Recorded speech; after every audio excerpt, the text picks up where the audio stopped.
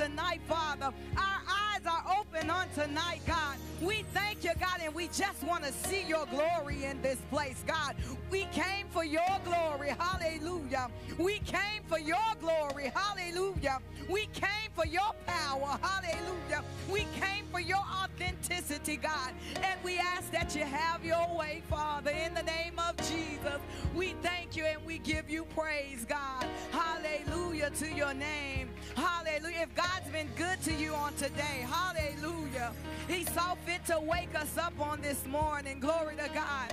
He saw fit to give us another chance to praise his name. Hallelujah. He woke up our children. I don't know about you. Hallelujah. But I'm glad that He woke my children up. Hallelujah. I thank God, hallelujah, that I'm still in my right mind in the midst of the chaos, in the midst of the confusion. Hallelujah. In the midst of the misunderstandings, I still have my right mind. So I'm thankful on today. Hallelujah. That God is a good God. Glory to God. We give you honor and praise, God, in everything that you do. It is in Jesus' name that we pray. Amen. Amen and hallelujah. Glory to God. Hallelujah. Glory to God. We thank God on today. Hallelujah. I, I don't know about you, but I've been going through some things on this week. You know, the body tries not to act right. Hallelujah. The, the mind tries to get out of order a little bit, but God is a God of order. He's a God that will set things in place. So I'm thankful on today that He decided to set some things in place for us. I'm just grateful. If you're grateful, I want to hear you give God the glory on today. Hallelujah. Thank you, Jesus. Thank you, Lord. Hallelujah to your name, God. Hallelujah. We're going to allow God to have his way on today. Hallelujah. Glory to God. In Jesus' name we pray. Amen. You may be seated in his presence. Thank you so much. VLCM, I am so proud of you. Give yourselves a hand tonight. It's wet out there, but y'all are in the house tonight. Amen. I am so proud of you. Just a few uh, observations and announcements. Um, the Men of Victory, the Move Penstack Bowling Night is not Saturday, it's Friday. It's tomorrow. Hey, the men in the house. Amen. Amen. So make sure that you're there and be ready to have a good old time. And y'all don't want me there because y'all wouldn't win. Amen. I'm kidding. Y'all men have a good time. Can we thank God for our men, for every father, every husband, every man? Come on, VLCM. Come on, ladies. Amen. Amen. Amen. Also, our youth Easter rehearsal is every Saturday at 10:30 a.m. Please bring your children. Um, don't forget our Good Friday deliverance service is next Friday. Amen. I don't know if we still have flyers, but if we do, please grab one and, and share it with somebody. Also, share the event. It's on Facebook and share the flyer on social media as well. Um, our seven church anniversary banquet is approaching. It'll be here before you know, so make sure you buy your early bird tickets. Amen. Um, don't forget our Saturday prayer call. Don't forget to stay connected. There's a lot going on. And praise team, please meet briefly after Bible study tonight. Amen. Amen. Now, how many of you know that there are gifts in the house? There are some amazing gifts in the house. And on Thursday nights, we like to utilize our gifts, give them an opportunity to exercise their gifts and to grow in their spiritual gifts. Um, and we have a gift here tonight with us. Amen. Amen. Now, before I introduce our gift, can you go to the church Facebook page and just do the, the work of the evangelist and press the share button? Amen. Let's get some people on tonight. Uh, by the clapping of our hands, can we welcome our online audience, our virtual audience? We love you. Amen. Um, I'm excited to hear our gift on tonight. And I'm not going to give a long introduction or anything else. I just know that God sent her here for a good reason. I know she got a job to be here, but I believe God sent her to VLCM as well. Amen. Amen. To help us grow, but also to help her grow. Amen. So, by the clapping of your hands, can you welcome, give a warm welcome to Sister Krishan Hollins?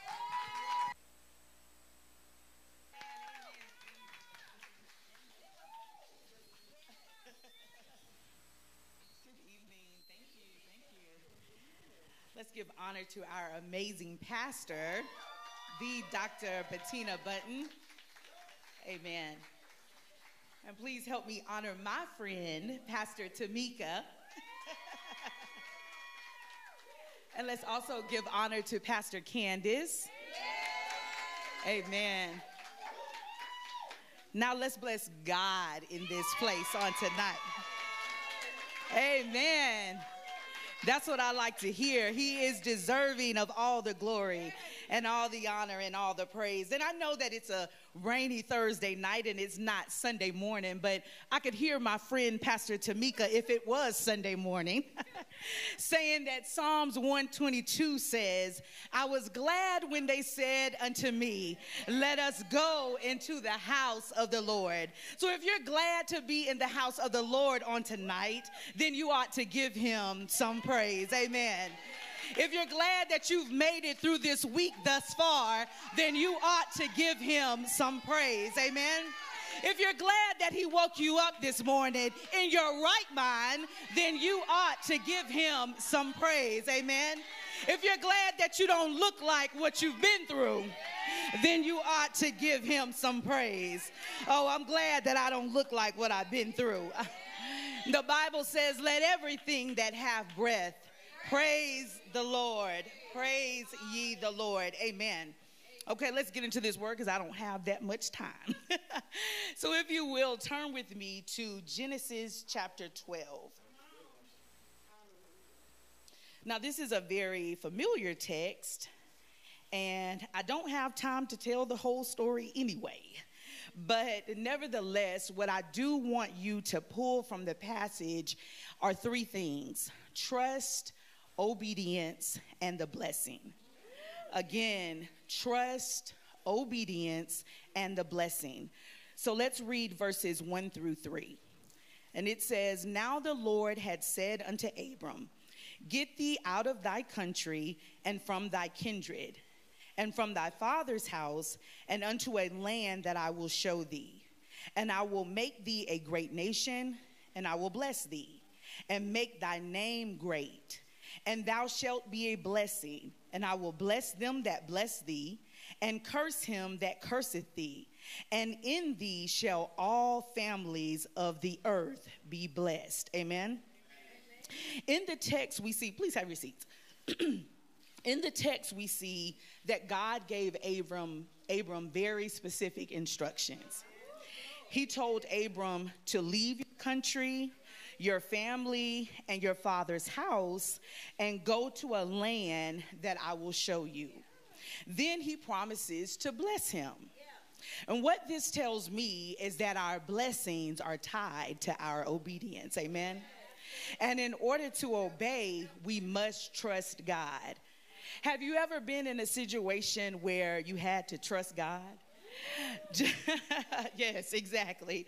Well, just like Abram, God told me to leave my home and my family and come to Austin. So I had to trust him then to be a protector, to watch over my family and to keep my children safe. Um, that's not the only time that I had to trust him. When I went through a divorce after being married for 21 years, I had to trust him to be a provider as he helped me build my career and to get me to a financially stable place so I could not only take care of myself, but my two college students. Amen. I also had to trust him when my daughter got sick and she went into a deep depression and her mind began to slip away. I had to trust him then to be a healer. I had to trust him to be a mind regulator. Maybe you've never had to trust him like I've had to trust him.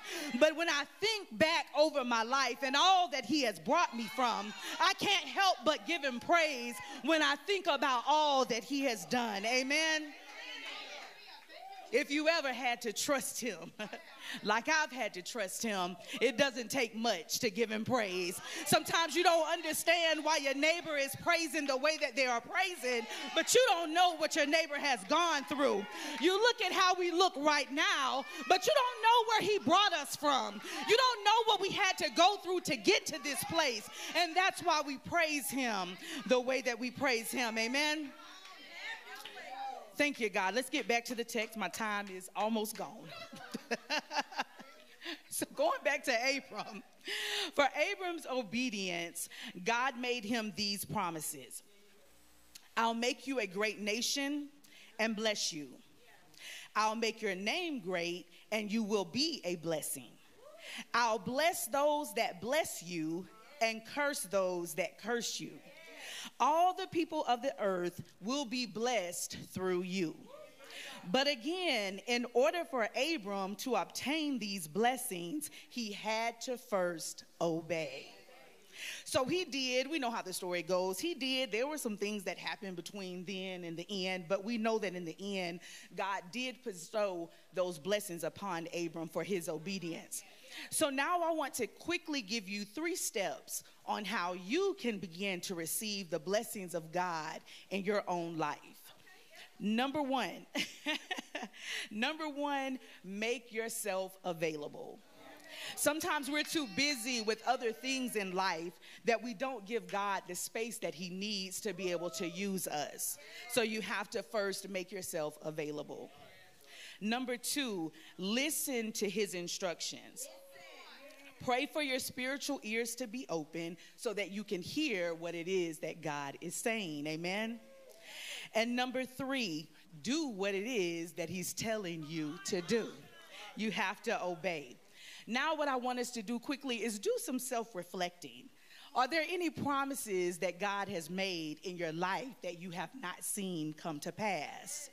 Could it be that you have not obeyed Him yet?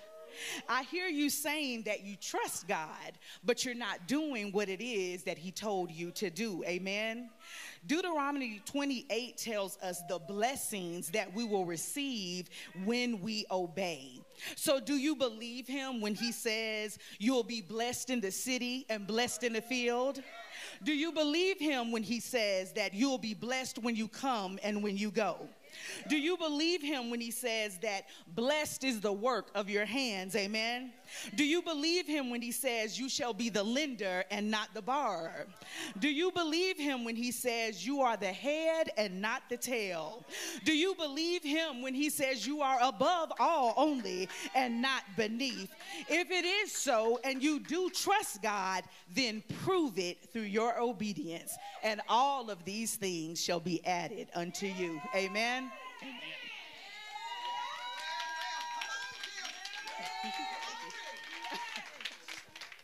Amen. Y'all can do better than that. Amen.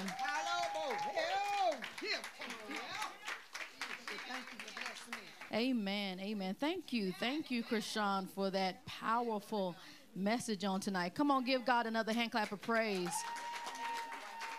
That's how you come in and give a word and drop the mic. Amen. Amen. You may be seated. Um, I am grateful for all the gifts of the house. So, ministers, always be ready. She found out yesterday she was going to be up here. Amen. Got to always be ready. Amen. Amen. I am going to sit down so that I don't preach. Amen. That I teach on tonight. Y'all pray that I teach on tonight. Amen. Amen. Now, before I get into today's lesson, I do have a prophetic word. I was in prayer this morning and I was praying for you guys and I was seeking God on behalf of VLCM. And this word kept sticking out and kept hitting my belly and hitting my spirit. And the Lord told me to tell you that although things may be difficult in this season, you still have favor. And um, not only do you have favor to get through, but you have favor to get to.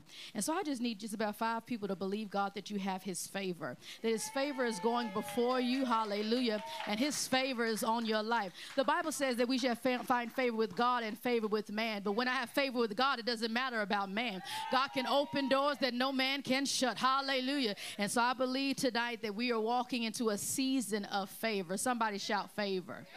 Amen. Let's get to the word of the Lord. Um, I also want to thank Minister Catherine James and Prophetess uh, uh, Candace Poindexter who gave the word on the last time we met for Bible study. Amen. Amen. Mr. Catherine taught, I'm built for this. And I I loved uh, her demonstration on the Holy Spirit. I'm going to borrow that. Amen. That was really good. And Prophetess Candace a, gave a powerful word on offense. Amen. Amen. And that's where we are on tonight. Y'all know where we are. Luke chapter 17, Jesus tells his disciples, It is impossible that no offenses should come, but woe through him whom they do come. Amen. And we've been also in Genesis chapter 4. Can you go there really quickly? Genesis chapter 4. Genesis chapter 4. I'm going to jump down to verse 6. Genesis chapter 4, verse 6. The Lord said to Cain, Why are you angry? And why has your countenance fallen? Now, you know, Cain and Abel, they both brought offerings to the Lord. Uh, Cain brought an offering of um, um, of fruit of the ground, but Abel brought the firstborn flock offering of his flock. Amen. And so when he brought, they brought their offerings. God respected Abel's offering, but did not respect Cain's offering, and it made Cain upset. And so God is asking him, "Why are you angry? And why is it? Why is it on your face? Why is it on your shoulder?" Number seven, verse seven. If you do well, will you not be accepted? And if you do not do well, sin lies at the door, and its desire is for you, but you shall rule over it. Then verse 8 Now Cain talked with Abel his brother. And it came to pass when they were in the field, they were having a conversation, they were in the field, that Cain rose up against Abel his brother and killed him. Verse 9 Then the Lord said to Cain, Where is Abel your brother? He said, I do not know. Am I my brother's keeper? And God said, What have you done? The voice of your brother's blood cries out to me from the ground. So now you are cursed from the earth, which has opened his mouth to receive your brother's blood from your hand. And when you till the ground, it shall no longer yield its stripped to you, meaning it's going to be hard to succeed. Then it says, And a fugitive and a vagabond you shall be on the earth. And so that's where we are. We've been talking about spiritual vagabonds. I will give my title later, uh, but let me just pray really quickly. Father, we thank you for your word on tonight. Thank you for Minister Krishan and allow, uh, using her to uh, give your word on tonight in the name of Jesus. Now, God, use me as your teacher, Lord God. Help me to release what you would have me to release, say what you would have me to say, Lord God. We thank you, oh God, that you are the great teacher, and I submit myself as your vessel to teach through me, God. And we're in expectation for your presence to be here tonight. We thank you that even at Bible study, somebody can get saved. Even at Bible study, study, somebody can get delivered. Even in Bible study, somebody can be healed. So use tonight's word to heal us, oh God, and to regulate us, God, and to correct us and to grow us and stretch us. In Jesus' name we pray. Amen. Amen. So we've been discussing spiritual vagabonds um, and who they are, what they are, and how they become one, how you become a spiritual vagabond. And as you can see in Genesis chapter 4, Cain became a spiritual vagabond because he was offended. Amen. Uh, Jesus, I mean, sorry, the Lord says that you are a vagabond. You'll be a fugitive and a va- vagabond because he was offended, which caused him to sin. And I need to let you know that nine times out of ten, when you are offended, you're going to walk in sin okay? And Cain's offense turned into double sin. so the first sin was to be angry with God, the second sin was to take it out on Abel. And so sometimes when we are upset with God, we'll take it out on our brother or sister. Okay, that's too much. And so, a spiritual vagabond is someone who wanders from place to place without any settled home, a spiritual nomadic, uh, someone who does not uh, have a permanent place, a permanent church, uh, where they wander from place to place unsettled. Okay? And a spiritual vagabond is someone who refuses to let God lead. Uh, they let their offenses lead. They let their emotions lead. They let their uh, uh, feelings lead. And I am declaring that they, we will have no more spiritual vagabonds. Amen. So last time I taught, we talked about uh, signs of a spiritual vagabond, and then we talked about how we stop ourselves from being a spiritual vagabond. I'm just doing a re- quick review so we catch up.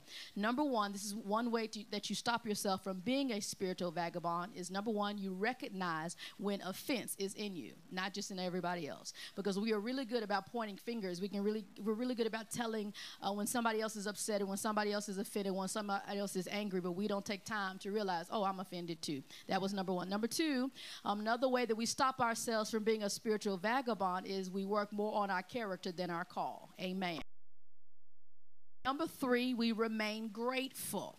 And I am um, noticing that we are living in a time where we are entitled, uh, where we entitled to every blessing that God gives us, that we are entitled to a position, we're entitled to that job, we're entitled to this blessing, we're entitled to this and to that, we're entitled to the money we have, but we're not entitled to it. It belongs to God.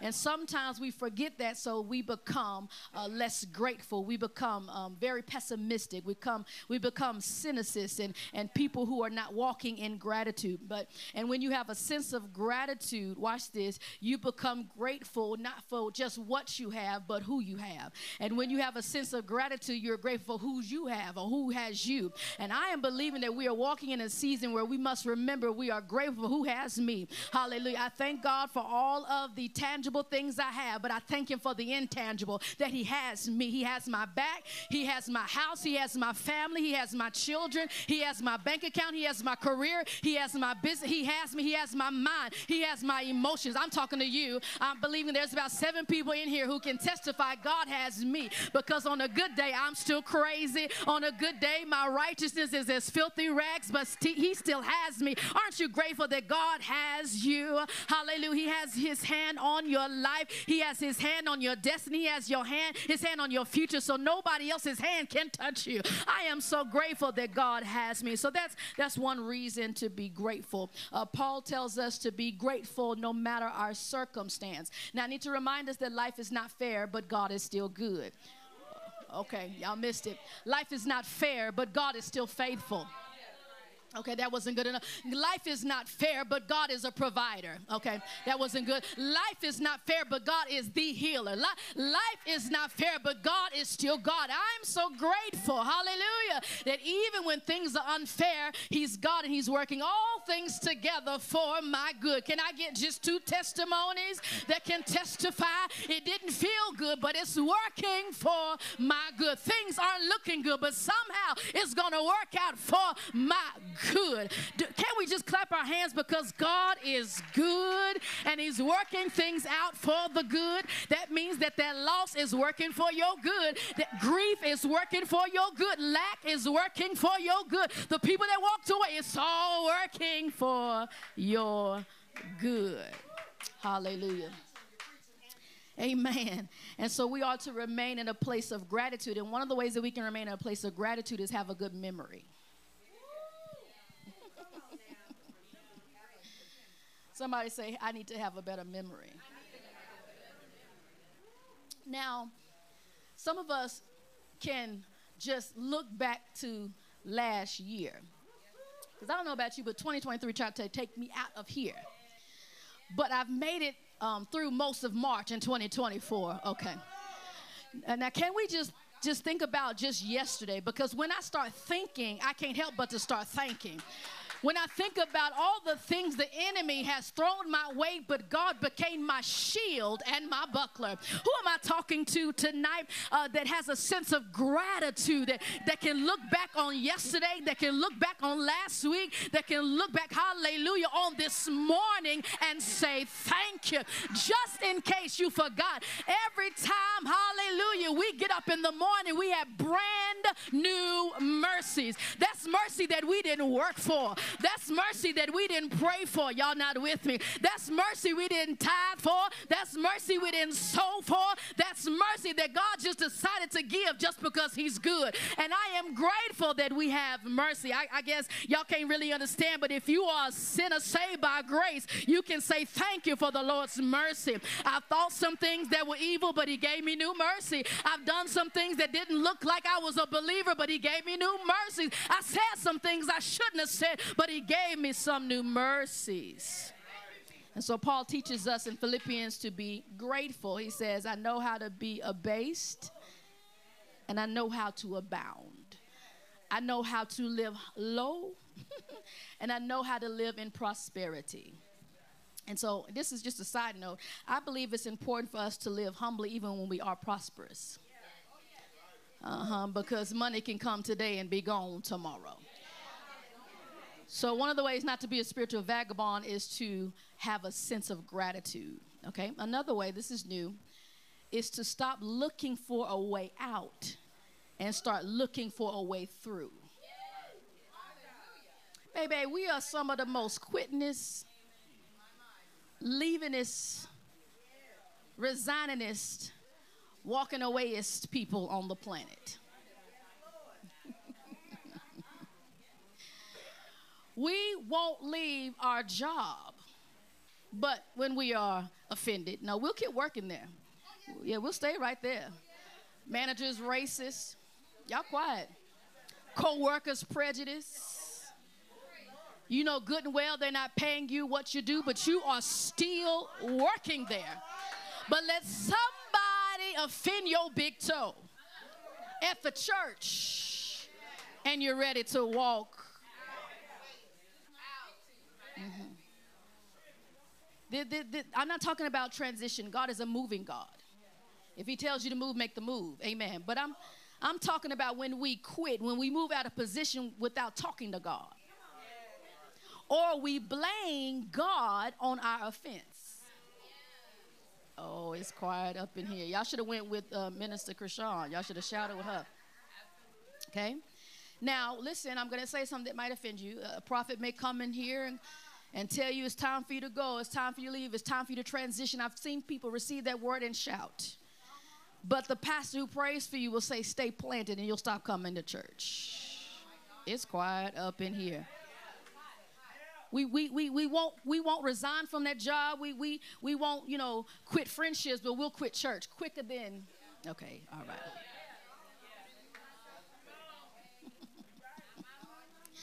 And so when we do this, when we leave prematurely, we do what Cain did. Okay? When we leave prematurely, we become or we are in danger of becoming what Cain was a vagabond.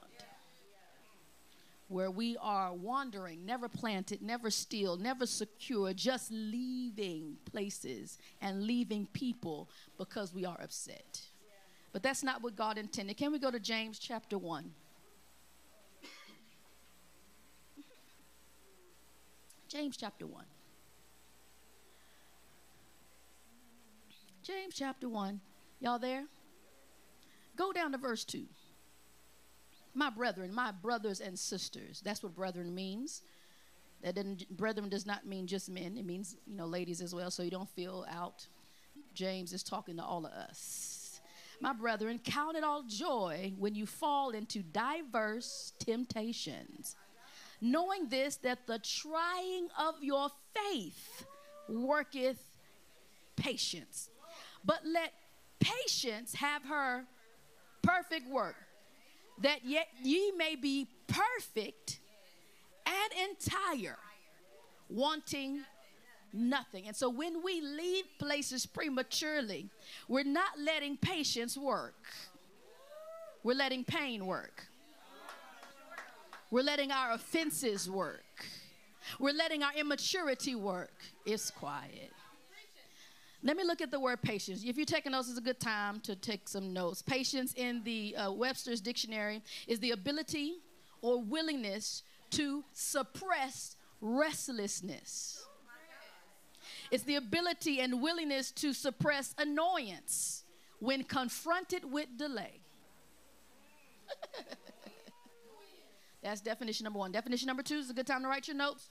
Uh, to be patient means that you are willing and able to bear provocation when people provoke you, to bear annoyance, to bear misfortune, to bear delay. Watch this to bear hardship as a good soldier, to bear pain with fortitude, resilience, and calm without complaining. Okay, so because what we do is we'll bear the provocation, but we will show enough tell somebody about it. Patience in the Greek, because that's what James chapter 1 was originally written in, is this word hupomone. Hupomone. It means to endure. It means to be steadfast. It means to persevere. Watch this. And it means to remain behind. And that's where the rubber hits the road where, because when we are impatient, we're not willing to remain behind. When we think somebody else is getting ahead of us, we're, we're not willing to remain behind. And so we become impatient. We try to skip steps. It's quiet, y'all quiet. Another word for uh, patience in the Greek is the word long, or words, long suffering. We don't like to suffer, and we sure don't like to suffer long. We, we like Tye Tribbett. Only one night though. We like, you know, we only you, we got one night, God, to, for us to suffer. It's quiet. The Greek word for patience hupomone are two words. The first word is hypo, H Y P O. Hypo means under. The second part, mone, or it comes from the word meno, which means to remain.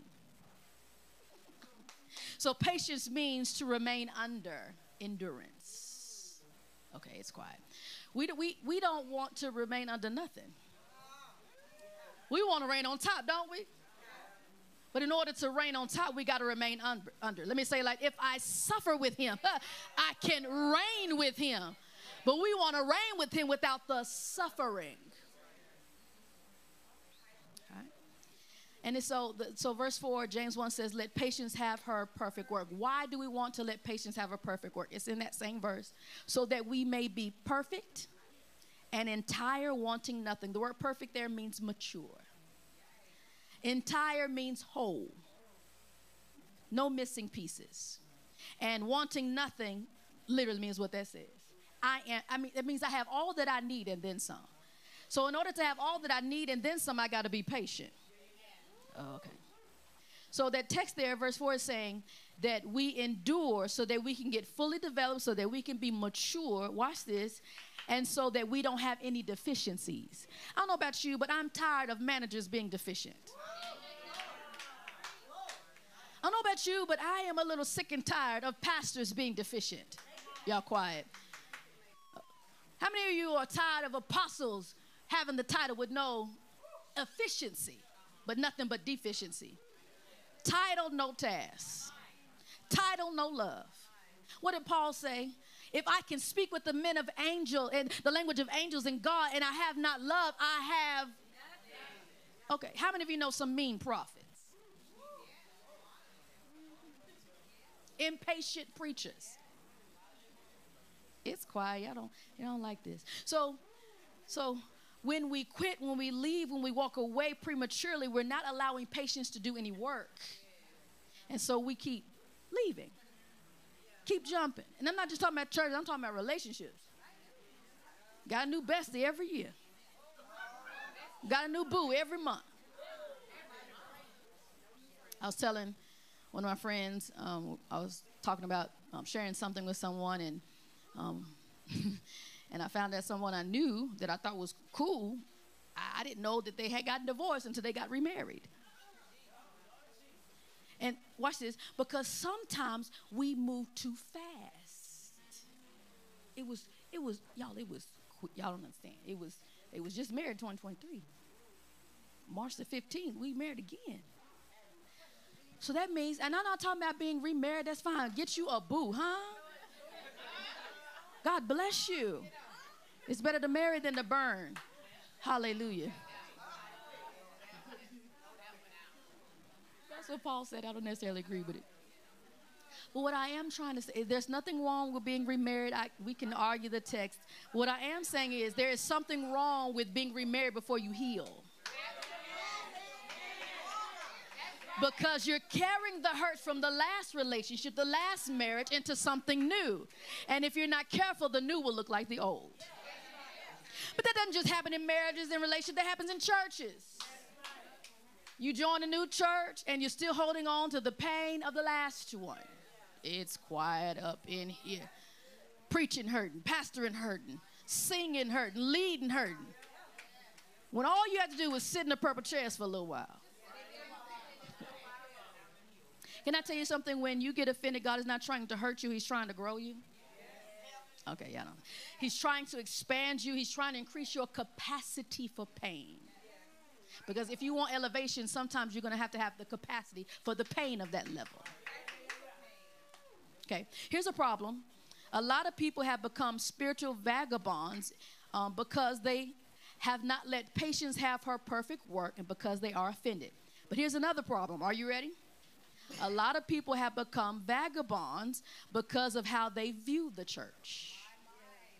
The writer of The Bait of Satan, his name is Mr. John Bevere. He said in chapter 5, I believe, churches are not cafeterias where you can go eat what you want.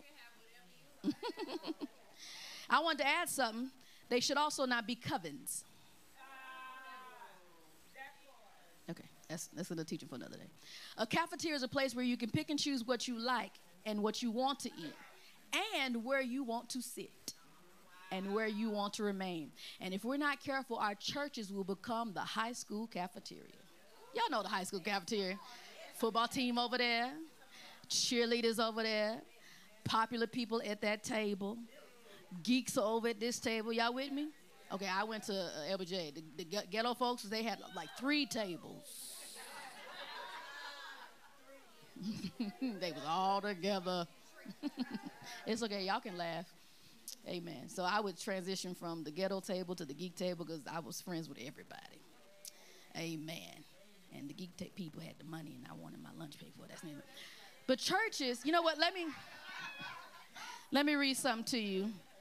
Y'all know it's okay to laugh in church, right? Let me read something to you. This is what John Bevere say, said. You ready? Today, men and women leave churches so readily if they see something wrong in the leadership.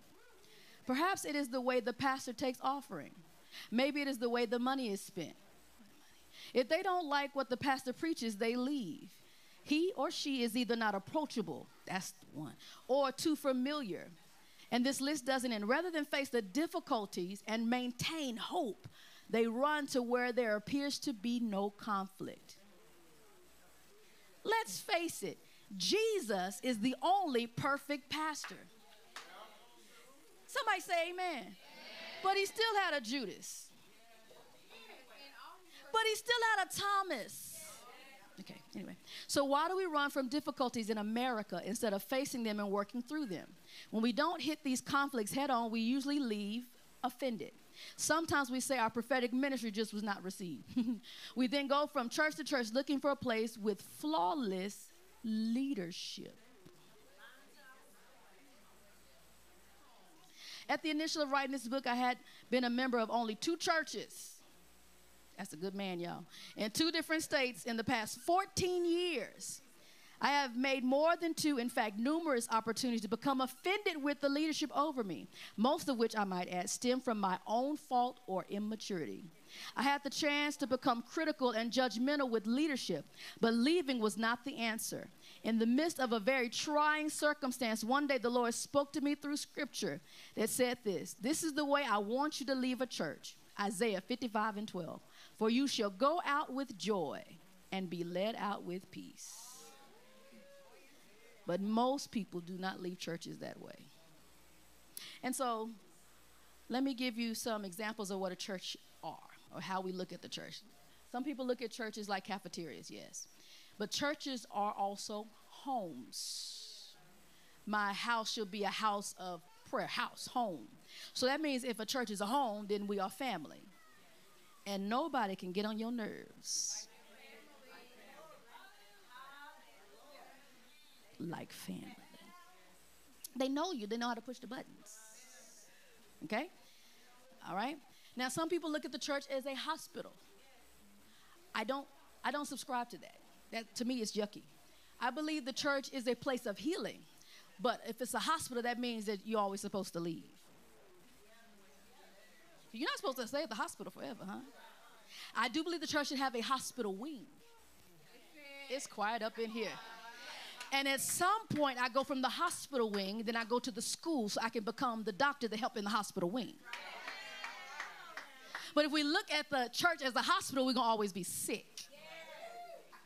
Expecting the church to do something for us, and all we are doing is being patients. Are y'all, are y'all all right here? Okay. I believe the church is uh, also a home, um, but also a training camp. Okay where you get uh, intense learning, like we are on some Thursday nights. Amen. But I need to let you know that some things are taught and some things are caught. Okay, y'all missed it. I also believe the church, watch this, is an army. It's in the Bible. Endure hardship as a good soldier. We sing, I am on the battlefield for the Lord. Y'all know that song. Am I the only Baptist? Uh, am I only Reformed Baptism? And I promise him that I, I will serve him till I die. I am on the battlefield for my We sang that. I mean, we sang that. But we didn't really listen. Because if I'm on a battlefield, I'm in a battle, and I'm a soldier, and I can't go AWOL.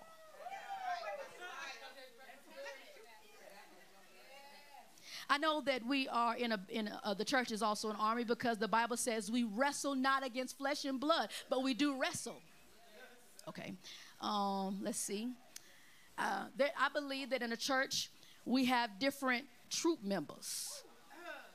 I believe we got some corporals. I believe we got some privates. Some in the military, y'all can help me. I believe we got some private first class. We believe we got some sergeants and some majors and some master sergeants. Hallelujah. I believe we got some lieutenants and some captains. I believe we got some colonels and some generals and some quartermaster generals. But I believe, watch this, we ought to have some warriors. But what happens in a lot of churches, we don't become warriors, we become worriers. And not only that we worry, but we worry other people. Okay, it's quiet. I also think the church is a growth center where, oh, it's quiet right here, where we are challenged to grow. And when we don't accept the challenge, we get stuck and have arrested development. How many of you know somebody who is 62 years old still acting like they are two? Because they did not allow the growth center, they did not allow patience to have her perfect work. Somebody say, stay planted. Even when it's difficult. Can I tell you why? Because the Bible tells us that the planted flourish. Oh, y'all don't like me. Psalm number 92, verse 13. Those who are planted in the house of the Lord shall flourish in the courts of our God. We'll flourish in the courts of our God, but we got to first what? Stay planted. So we want to get to the flourish part. We want to get to increase. We want to get to expansion. We want to get to prosperity. We want to get to multiplication. We want to succeed. Anybody here want to succeed? But according to that text, if we want to succeed, we got to stay planted. Even when it's difficult. All right. So, but if you are going to leave a church, can I tell you how to do it? Leave right. Let me give you some signs of when to leave your church. This is when I need you. Some signs of when to leave your church. Three categories. Number one, uh, for the next 20 minutes, I'm going to give you signs of when to leave the church. Are y'all ready? Number one, you have a gospel reason. Uh, yeah, this is yeah, this is green light, but yeah, don't know. Don't worry about the colors. Yeah, don't worry about that. So a gospel reason.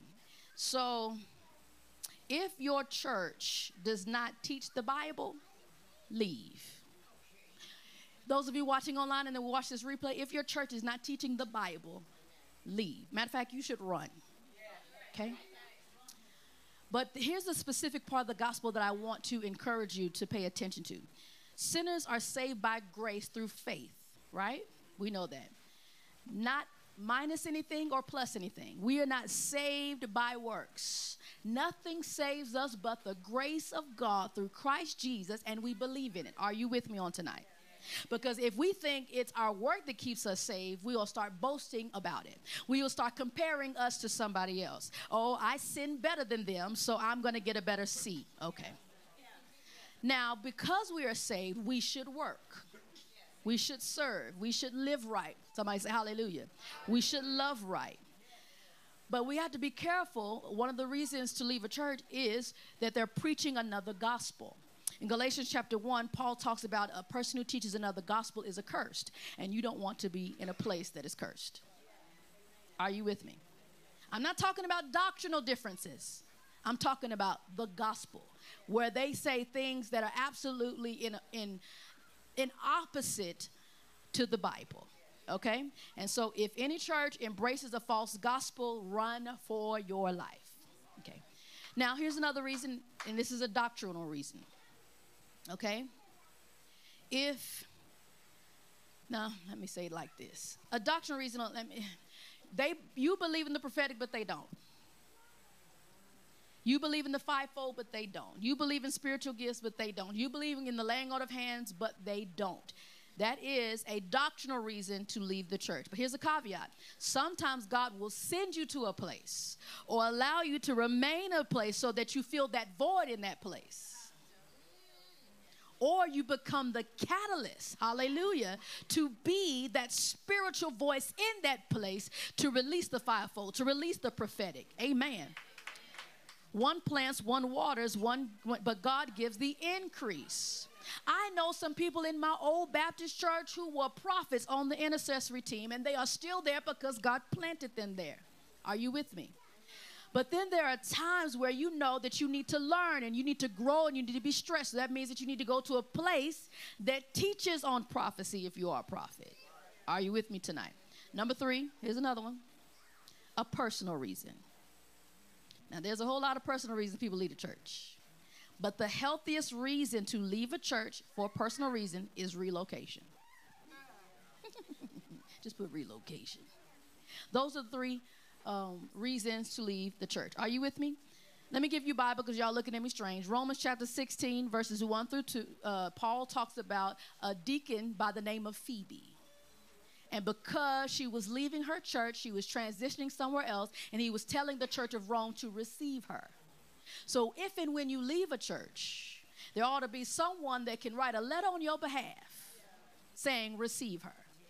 It's quiet up in here.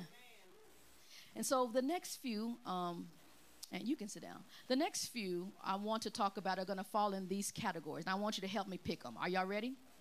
Here's another sign to leave your church. These are like yellow lights. These are like blinking yellow lights. Some of these are red lights. Abuse.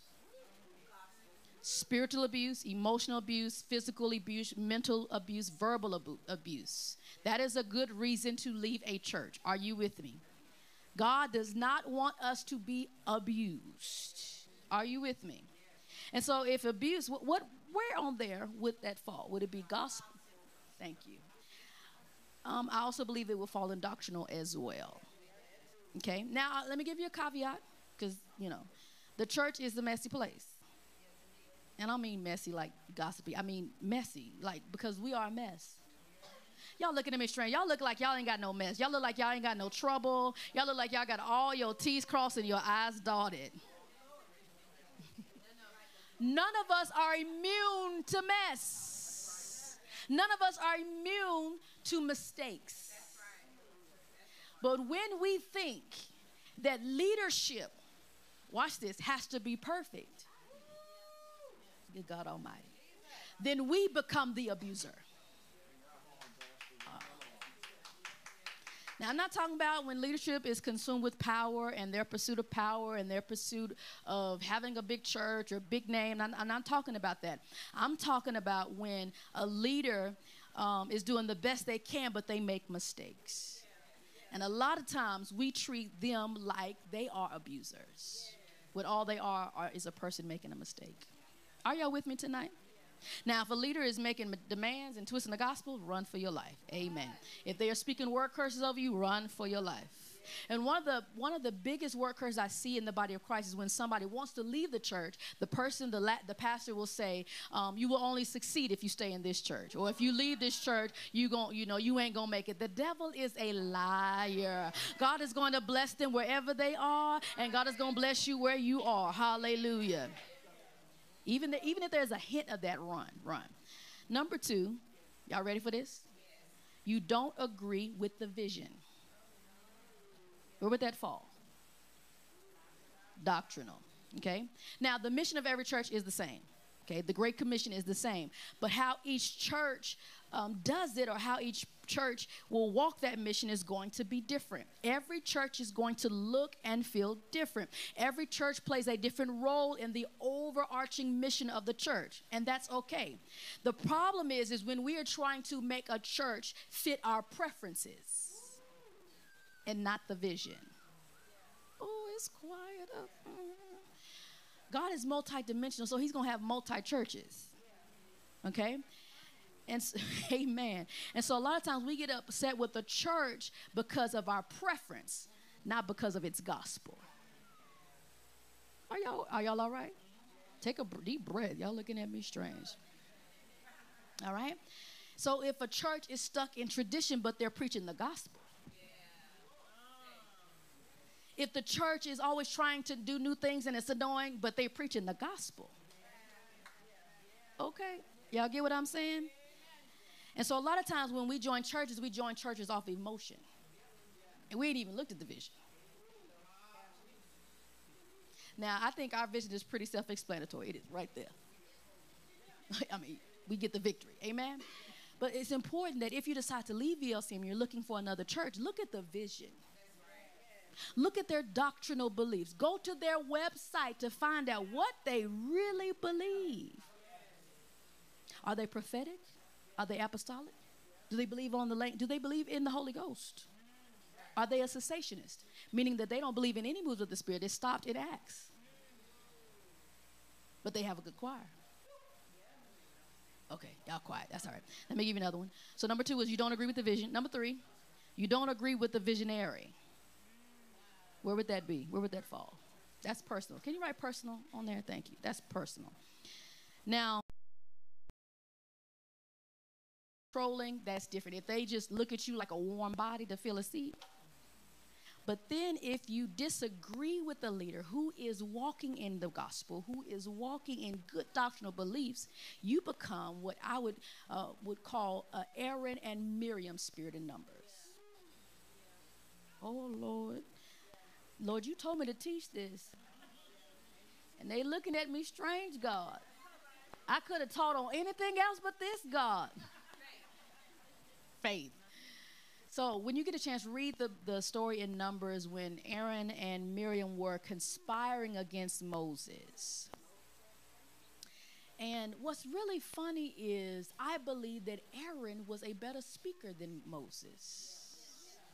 Miriam was possibly a better prophet than Moses in regards to prophecy, not leadership. But it was Moses who had the staff. Y'all quiet up in here. And so, if you don't agree with the visionary, you need to find a new staff. Can I let you know that most, not all, but most visionaries, most senior leaders don't want to be? they don't want to be. They, are, they run for years. And so, anyone who comes and disagree, they are willing to give you the staff. Hallelujah. who wants it? Glory. And so, but when you disagree with the visionary, it might be time for you to look for a new church home.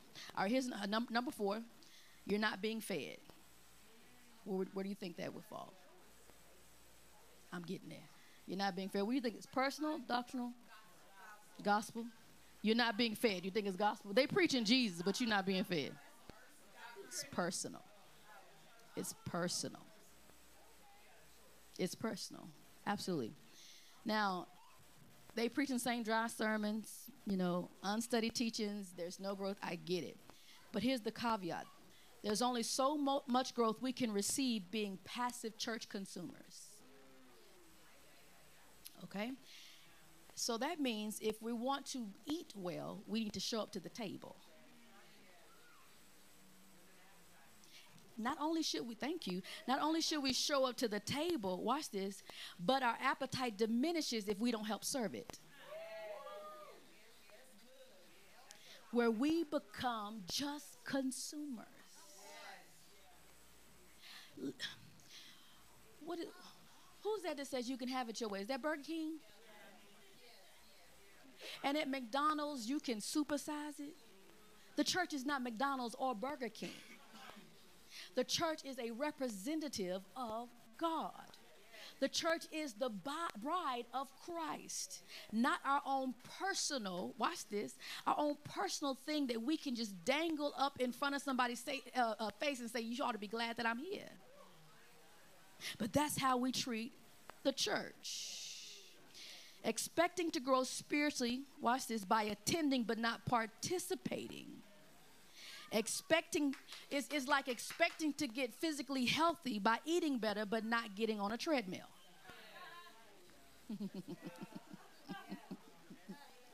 Somebody say you gotta do both, sugar. You gotta do both. According to Oprah, you gotta do more than that, but that's neither here nor there. All right? In both 1 Corinthians 3 and Hebrews 5, the, the writers of those, those letters, those books, talk about spiritual milk, right? Talks about having milk versus solid food. And um, they saw, uh, Paul talks about, I can't give you solid food because you're still on milk. Okay? And one version talks about solid food being meat. But what makes something milk? It's because it's been through a cow. Meaning that when you have milk, it's been processed through a cow. It's been processed through something else. But when you have meat, hallelujah, the cow has died, and you go straight to the meat. So as you mature, you don't have to be milk fed. You can sit at the table and eat your own steak. And a lot of times when we don't have our own personal study, ooh, we want to be milk fed. It's quiet. They don't like this, God. so, as a mature believer, it's not just about being fed, it's about being discipled. They don't like this, guy. It's all right. The church, watch this, is not a marketplace where we can pick the spiritual products that we like. It's a community that we worship Jesus with the people that we like and dislike. okay. Y'all don't like that one, so let me move on. Number five. This one should be easy for us. You don't trust the church with your money. Which one is that? Personal. if you cannot, uh-huh, that's a point. If you cannot trust the church with your money, you shouldn't give them your time. Oh, Lord. Now, some churches keep their books closed and they won't share where the money goes. Somebody say that's a red flag. Red flag. But as a disciple, as a member of a church, you should know where your money is going. We share that every January. Somebody say hallelujah. hallelujah. Amen. Now, some areas you may not know all the details. Let me tell you why. I'm being very transparent tonight. I don't think it's fair to share the salaries of the people that are being salaried at the church because it could cause division. Somebody say amen. amen. Hallelujah. So, so sharing public salaries could cause strife and division in a church. And so salaries go into one bucket. If we share the honorariums, that okay. Anyway, no, no, ooh, I was about to go down a rabbit hole. Let me let me read what's in my notes. Giving to a church is like making an investment. And when you refuse to invest in a place that's investing in you, it's spiritual robbery. So make sure you are part of a church family that you can trust with your investment as they trust you with theirs. Are y'all with me on tonight? All right. Number six, the church isn't doing anything for people outside the church. Which one is that? Gospel and doctrinal. Gospel and doctrinal. All right? There should be a balance between uh, spiritual growth internally and spiritual growth externally. We are the church within the walls and the church without the walls. Amen? But here's the problem when we go outside the walls, who going to help us go? Because sometimes what we complain about is what we were sent to do. The church doesn't have outreach. Start it. What you need? We got food pantry right over there. Just grab some stuff. Let's go. Are you with me? The church doesn't do this. Do it. You, you the church, right? Get a team. Let's go. Somebody um, gave me a, a, a idea not too long ago. Pastor, we should do this. Do it. You have my 100% support. Somebody say, do it.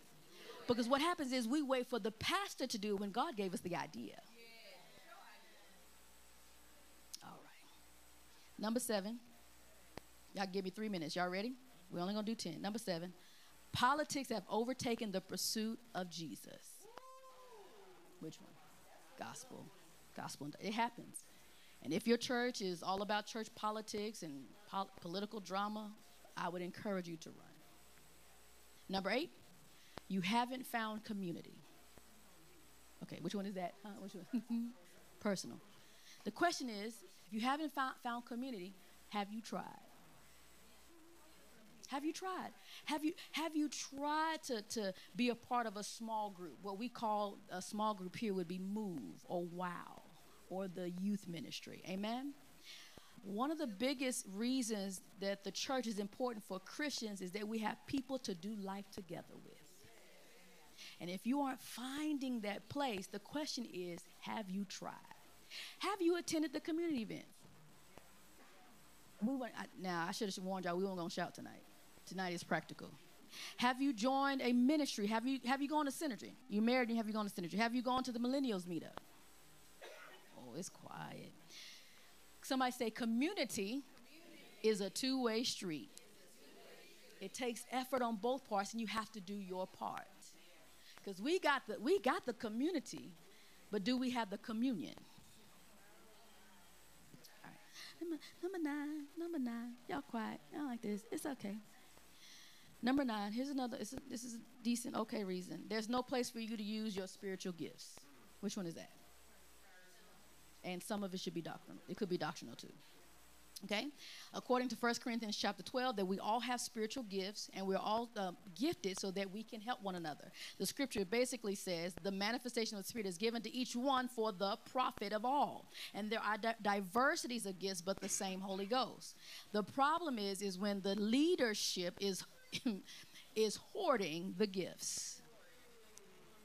Have you ever been to church where the leadership is hoarding the gifts, hoarding the tasks, hoarding the work? Are, y'all with me on tonight? and so, if a place is not allowing you to use your spiritual gift, the question, the first question is, have you communicated it?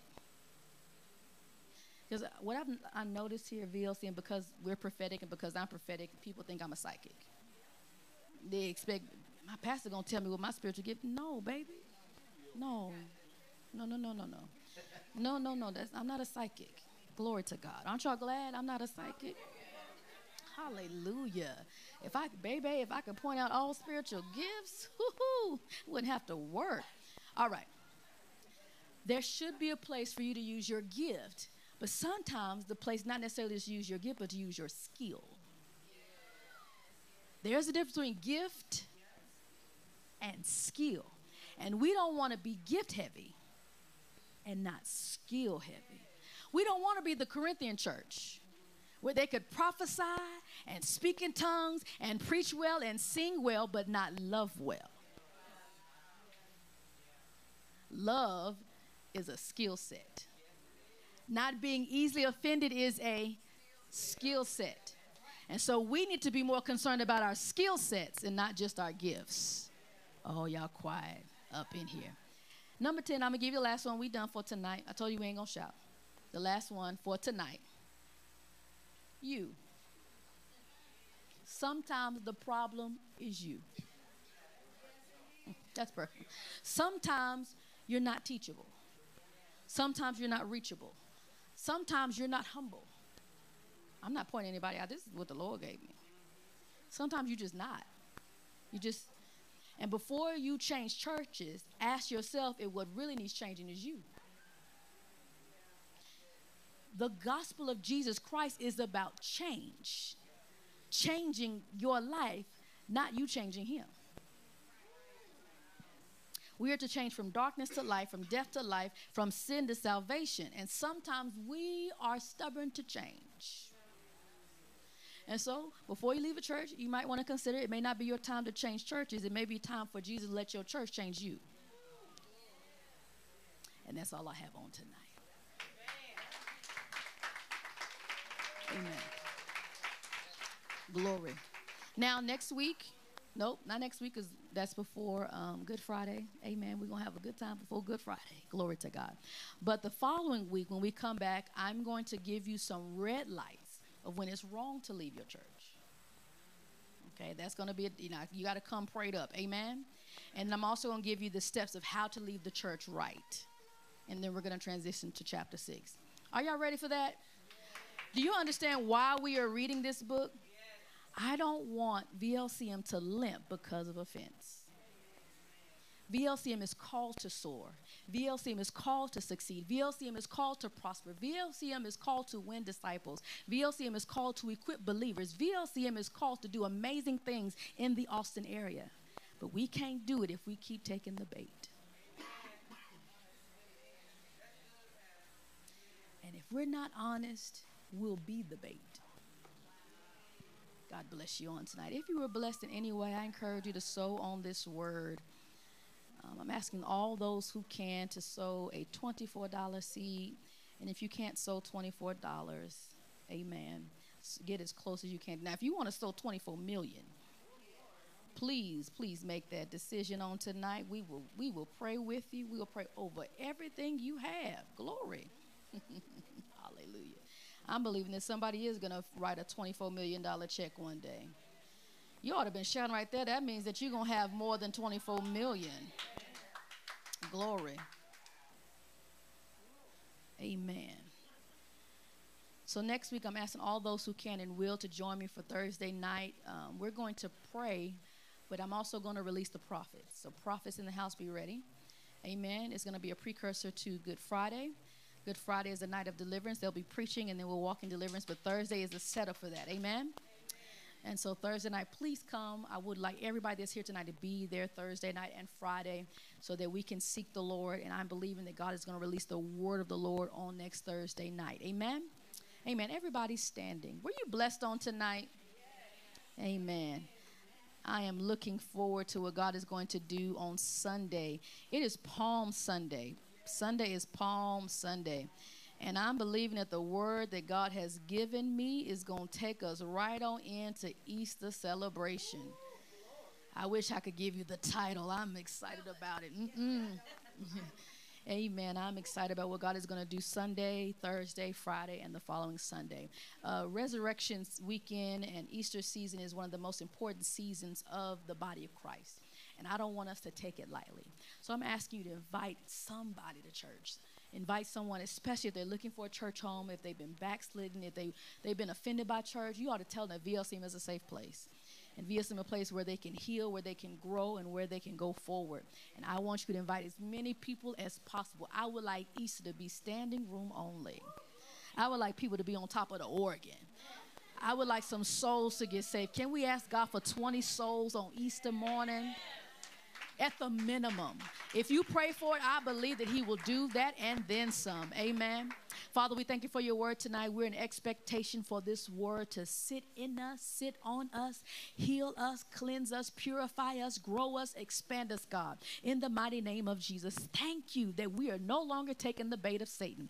Thank you, oh God, that we are not easily offended. Thank you, oh God, that we are not offensive, but we walk in holiness. We walk in love. We walk in peace, oh God. We thank you, oh God, that we are peaceable. Hallelujah. We thank you that VLCM will no longer limp with the spirit of offense. We thank you that we are unified. We thank that there is no discord. We thank you that there was not there's nothing but love here and peace and power here. We thank you, oh God, that you're using us to get the victory. Now, God, in the name of Jesus, bless every sower, every giver, and every person that wanted to give but couldn't, God. We thank you, oh God, for every person in the house and watching online. We thank that you held back the storm. We thank that you held back the tornadoes. We thank you, oh God, in the name of Jesus, hallelujah, that you have us protected and covered. And we are in expectation for Sunday morning to blow our mind. Now, keep us from now until then, God. It's in Jesus' name we pray. Hallelujah and amen. God bless you. I'll see you on Sunday morning. If you would like to join or give your life to Christ, I'll stand up here for about 30 seconds. Amen. You're more than welcome to come. Amen. Praise team, don't forget um, to come for rehearsal and a quick meeting really quickly. Amen. God bless you.